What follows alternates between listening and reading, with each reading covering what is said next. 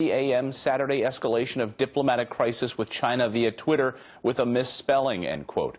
Shouldn't the left be more concerned about China's actions? Joining us now for Fair and Balanced Debate, Matt Schlapp, the chairman of the American Conservative Union, and Chuck Rocha, fellow at the Center for National Policy and the president of Solidarity Strategies. Nice to see both of you. Chuck, you, I, reading your notes this morning, you seem just as angry as Chris Murphy about this tweet, about this, uh, about this tweet, this misspelled tweet yesterday. Why?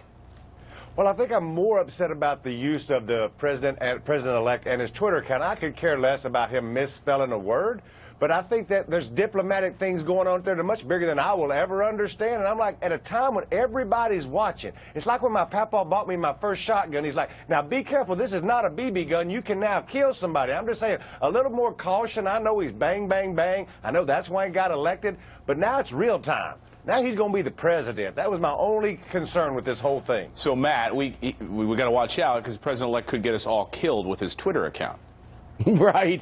Yeah, I think uh, the only thing that's going to get killed is uh, some of the mainstream media likes the president to always go through them uh, with their messaging. And I think the one thing that Donald Trump has been able to do, and Dick Cheney, you know, put his finger right on it, which is uh, Donald Trump is working around the New York Times and around the Washington Post and talking to real Americans, and I think it's fantastic. Chuck, Chuck, shouldn't the, shouldn't we be more concerned about what China is doing to us than these Twitter accounts? Here was Trump yesterday. He, he spelled this out. He said we should tell China that we don't want the drone they stole back. Let them keep it.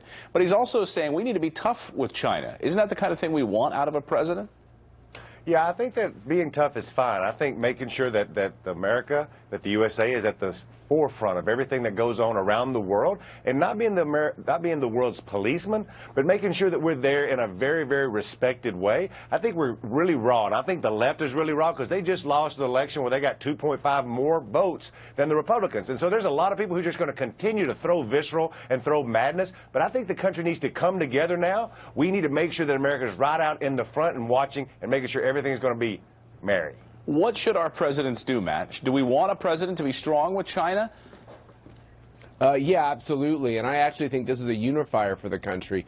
This is an early test for President-elect Trump. He's not yet taken the oath of office, obviously, but this uh, this problem uh, is going to linger into the beginning part of his presidency. President Bush had a similar type of challenge, and the dictators all over the world and the authoritarians and the communist leaders will watch how he handles this. And I think as he projects strength, it's a lesson to everybody around the globe that the Obama era truly is coming to an end, and America will stand up for its interests, and it's about time.